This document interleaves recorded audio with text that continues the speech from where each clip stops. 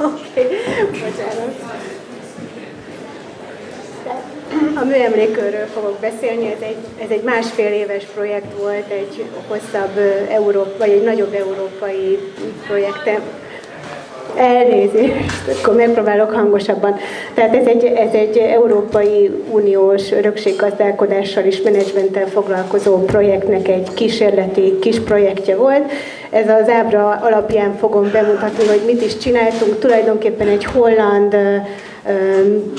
módszernek a magyarországi adaptációját készítettük elő.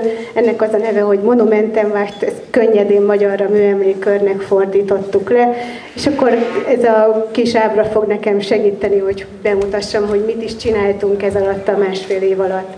Hát először is azt gondoltuk, hogy ez tényleg egy jó ötlet, és, és jó lenne Magyarországon is megcsinálni, mivel rengeteg műemlék van Magyarországon is nagyon rossz állapotban. Ez a holland Monumentenwacht módszer, egy, vagy a Monumentenwacht szervezet egy alulról jövő kezdeményezés, ami már 40 éve működik és tulajdonképpen az a lényege, hogy az épületeket folyamatos karbantartással őrizzék meg. 50 év alatt az épületek úgy elhasználódnak, hogy teljes felújításra szorulnak, viszont ha rendszeresen, tehát a zöld vonalat nézzük, ha rendszeresen karbantartják, akkor meghosszabbítható az élettartamuk és az értékük is. Ez az ötlet a holland siker alapján most már Európában elég sok helyen van, illetve más országok is tervezik, hogy bevezetik. Mi a pilot projektünk során erre tettünk kísérletet, hogy a magyarországi megvalósításnak a lehetőségeit feltárjuk, illetve a módszert magát is teszteltük. Ez az ábra a magyarországi műemlékállomány megoszlását mutatja, 14 ezer műemlékünk van, ennek a nagy része lakóépület, az a nagy piros négyzet, a nagy kék az a szakrális épületek, az körülbelül 5000 és amikor elkezdtük a munkát, akkor hamarosan rájöttük, hogy, hogy adaptálni egy máshol jól működő dolgot nem is olyan egyszerű. Amikor szeptemberben, 2013. szeptemberében Hollandiába mentünk, és találkozni velük és kérdezni, hát elég sok kérdésünk volt.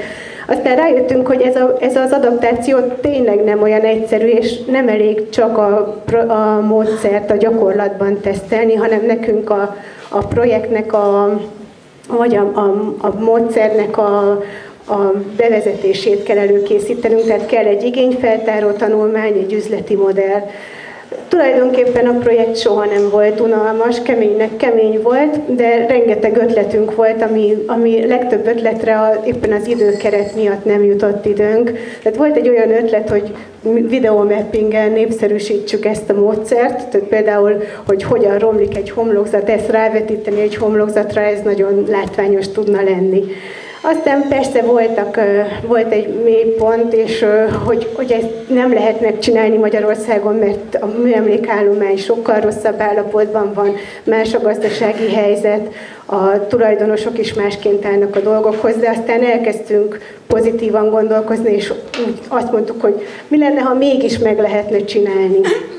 És uh, tulajdonképpen ott kezdődött, hogy, hogy akkor felvettük a kapcsolatot a műemlék tulajdonosokkal, ami egyáltalán nem volt egyszerű, hiszen rengeteg kérdésük volt, amire kínos volt időnként válaszolni, tehát nem egészen értették, hogy mi is ez az egész, visszajövünk-e jövőre, mivel hogy a projektnek, a, tehát a holland módszernek az a, éppen a rendszeresség a lényege, és hogy, hogy, hogy mi, miért is nézzük meg, hogy mi a probléma a műemlékekkel, hogyha utána nem adunk pénzt arra, hogy a műemlékeket meg is csinálják.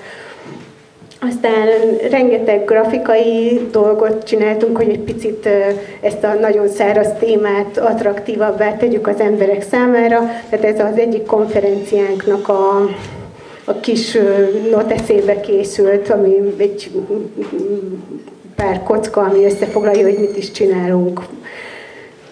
Végül, tehát ez a, ez a projekt, ezt még nem mondtam el, Egerhez kötődött, mivel Eger volt a nagy projektnek a vezető partnere, így Egerben 6 mű, 8 műemléket és 6 síremlék felmérését készítettük el. Volt egy bemutatónk, aztán utána az épületfelméréseknek a tanulságait egy plakáton összegeztük, tehát ennek a Teszvesz város adta az ötletet, 24 pontot soroltunk fel, tehát ezek csak a legfontosabbak és nagyon általánosak, tehát ez csak tényleg arról szól, hogy valahol el kell kezdeni. Aztán az igényfeltáró tanulmányban megvizsgáltuk a magyarországi műemlékállomány statikus és dinamikus jellemzőik alapján, tehát vannak olyanok, amik jó állapotban vannak, vannak, amelyiknél egy funkcióváltás segíthet, és vannak olyan műemlékeink sajnos, amin, amin semmi nem segíthet, vagy hát nincs reális gazdasági lehetőség a fenntartásukra. Az elemzés után kihoztuk, hogy, a, hogy két célcsoport van, akik akik a szolgáltatásnak az előfizetői lehetnének, tehát azokkal a műemlékekkel tudunk csak foglalkozni, amelyek valamennyire jó állapotban vannak.